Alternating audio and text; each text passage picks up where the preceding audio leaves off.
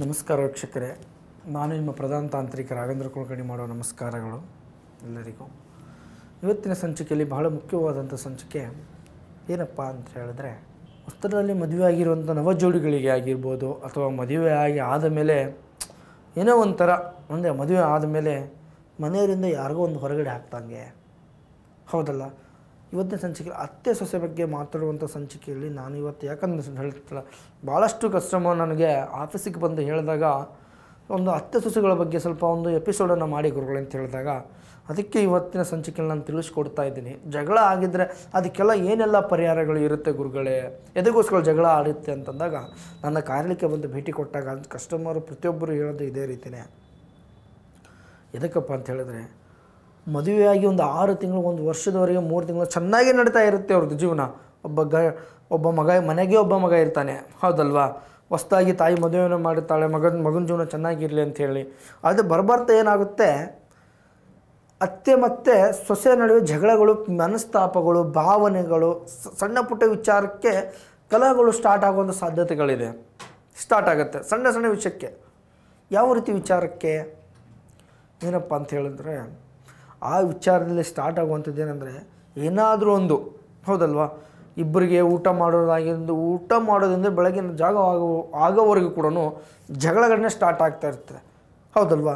ಅದೇ ಆ ಸ್ಟಾರ್ಟ್ ಆದ ಜಗಳದಲ್ಲಿ ತಾನು ದಣಿದು ಬಂದಿರುವಂಥ, ಅಂದರೆ ಮನೆ ಯಜಮಾನ ಕೆಲಸವನ್ನು ಮಾಡಿ ದಣಿದು ಬಂದಿರುವಂಥ ವ್ಯಕ್ತಿಗೆ ಆ ವಿಚಾರವನ್ನು ಹೇಳಿದಾಗ ಅಲ್ಲಿ ಏನು ಕೂಡ ಇಬ್ಬರು ಕೂಡ ಹೇಳಲಿಕ್ಕಾಗೋದಿಲ್ಲ. ಹೌದಲ್ಲ ವೀಕ್ಷಕರೇ? ಇವತ್ತಿನ ಸಂಚಿಕೆಯಲ್ಲಿ ನಡೀತಾ ಇರುವಂಥದ್ದೇ ಅದನ್ನೇ. ಇವತ್ತಿನ ದಿನದಲ್ಲಿ. ಹೌದಲ್ಲ? ಇದಕ್ಕೆ ಪರಿಹಾರ ಮಾರ್ಗಗಳು ಏನು ಸೊಸೆಗಳು ಜಗಳ ಆಡ್ತಿದ್ರೆ ಅದನ್ನು ಸರಿ ಸಮಾನವಾಗಿ ತೂಗಣೆ ಮಾಡಿಕೊಂಡು ಅದಕ್ಕೆ ಒಂದೇ ಹಾದಿಯಲ್ಲಿ ಹೋಗಬೇಕು. ಜಗಳ ಆಡಬಾರ್ದು. ಇಬ್ಬರು ಕೂಡ ನಗನಗುತ್ತಾ ಸುಖವಾದ ಜೀವನವನ್ನು ಮಾಡಿಸ್ಬೇಕು. ಇದಕ್ಕೆ ಪರಿಹಾರ ಮಾರ್ಗಗಳಂತ ಬಂದಾಗ ಇದಕ್ಕೇನು ದೊಡ್ಡದಾದ ಪರಿಹಾರ ಮಾರ್ಗಗಳಿಲ್ಲ ವೀಕ್ಷಕರೇ. ಹೌದಲ್ವಾ? ಇಲ್ಲಿ ಜಗಳ ಆಗಬೇಕು ಅನ್ನೋಗೋಸ್ಕರನೇ ಮಾಡಿರ್ತಾರೆ. ನಿಮ್ಮ ಕೈಯಿಂದ ನೀವು ಯಾವನು ಕೂಡ ಮಾಡೋದಿಲ್ಲ ವೀಕ್ಷಕರೇ. ಜಗಳ ಆಗಬೇಕು ಇವರು ಬೇರೆ ಬೇರೆ ಆಗಬೇಕಂತ ಹೇಳಿ ಮಾಡಿರ್ತಾರೆ. ನೆನಪಲ್ಲಿ ಇಟ್ಕೊಳ್ಳಿ ಹೌದಲ್ವಾ? ಇಲ್ಲೇ ನೀವು ಗೊತ್ತಾಗುತ್ತೆ ಯಾವ ಹೆಣ್ಣುಮಗಳು ಹೊಸದಾಗಿ ಮದುವೆ ಮಾಡ್ಕೊಂಡು ಮನೆಗೆ ಬಂದ ಕೂಡಲೇ ಅತ್ತೆ ಜಗಳ ಆಡಲ್ಲ. ಯಾವ ಹೆಣ್ಣುಮಗಳು ಹೊಸದಾಗಿ ಬಂದ ಕೂಡಲೇ ಹೆಣ್ಮಗ ಆ, ಸೊಸೆ ಕೂತ್ಕೊಂಡು ಅತ್ತೆ ಜಗಳ ಆಡಲ್ಲ. ಹೌದಲ್ವಾ? ಇದಕ್ಕೆ ಈ ರೀತಿ ಆಗಬೇಕಂತ ಹೇಳಿನೇ ಹೊಟ್ಟೆ ಕಿಚ್ಚಿನ ಜನಗಳು ನಿಮ್ಮ ಮೇಲೆ ಮಾಡಿಸಿರುವಂಥದ್ದು. ಅಂದರೆ ಮು, ಮದುವೆ ಆದ ಮೂರನೇ ಅತ್ತೆ ಮತ್ತು ಸೊಸೆ ಬೇರೆ ಬೇರೆ ಆಗಬೇಕು ಒಂದು. ಹೌದಲ್ವಾ?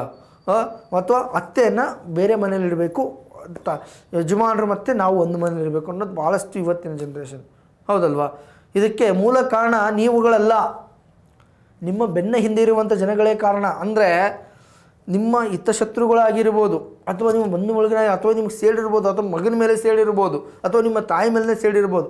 ಅವರಿಗೋಸ್ಕರ ಇದನ್ನು ಮಾಡಿರುವಂಥದ್ದು. ಹೌದಲ್ವಾ? ಈ ಪ್ರಕಾರವಾಗಿ ನಿಮ್ಮ ಮೇಲೆ ಸ್ಟೆಪ್ ಬೈ ಸ್ಟೆಪ್ ಮಾಡ್ಕೊಂಡು ಹೋಗ್ತಿರ್ತಾರೆ. ಅದು ಕ್ಷಣಿಕವಾಗಿ ಮಾಡಿರ್ತಾರೆ. ಹೌದಲ್ಲ? ಇದಕ್ಕೆ ಪರಿಹಾರ ಮಾರ್ಗಗಳು ಅಂತ ಹೇಳಿದಾಗಲೇ ಗೊತ್ತಾಗತ್ತೆ. ಹೌದಾ? ಅಥರ್ಣ ವೇದಕ್ಕೆ ಸಂಬಂಧಪಟ್ಟ ಪರಿಹಾರ ಮಾರ್ಗಗಳಿದೆ ವೀಕ್ಷಕರೇ. ಹೌದಲ್ಲ? ಅದಕ್ಕೆ ಆ ರೀತಿ ಏನಾದರೂ ನಿಮಗೆ ಸಮಸ್ಯೆಗಳು ಕಂಡು ಬಂದಿದ್ದರೆ ಆ ರೀತಿ ಏನಾದ್ರು ಮನೆಯಲ್ಲಿ ನಡೀತಾ ಇದ್ದರೆ ವೀಕ್ಷಕರೇ, ಬಂದು ಭೇಟಿ ಮಾಡಿ ಖಂಡಿತವಾಗಿ ಅದಕ್ಕೆ ಸೂಕ್ತವಾದಂಥ ಪರಿಹಾರ ಇದೆ, ಮಾರ್ಗ ಇದೆ ವೀಕ್ಷಕರೇ. ನಾವು ಹೇಳಿದ ಹಾಗೆ, ಅಂದರೆ ನಾನು ಹೇಳಿದಾಗ ನಲವತ್ತೆಂಟು ದಿನಗಳ ಕಾಲ ನಾನು ಹೇಳಿದ ಒಂದು ಪರಿಹಾರ ಮಾರ್ಗವನ್ನು ನೀವು ಮಾಡಿದ್ದೆ ನಿಜವಾದರೆ ಖಂಡಿತವಾಗಿ ಯಾರು ಮಾಡಿದಾನೆ ಆ ವ್ಯಕ್ತಿ ಕೂಡ ನಿಮ್ಮ ಕಣ್ಣ ಮುಂದೆ ಬಂದು ನಿಲ್ಲಿಸಿಕೊಡ್ತೇನೆ ಹೆದರುವಂಥದ್ದು ಬೇಡ ವೀಕ್ಷಕರೇ. ಖಂಡಿತವಾಗಿ ಮಾಡಿ ಒಳ್ಳೆಯದಾಗುತ್ತೆ ಹೆದರುವಂಥದ್ದು ಬೇಡಿ, ಎಲ್ಲರಿಗೂ ಒಳ್ಳೆಯದಾಗಲಿ ಸರ್ವೋಜನ ಸುಖಿನೋ ಭವಂತು ವೀಕ್ಷಕರೇ. ಸರ್ವರಿಗೂ ಎಲ್ಲರಿಗೂ ಒಳ್ಳೆಯದಾಗಲಿ ನಮಸ್ತೆ.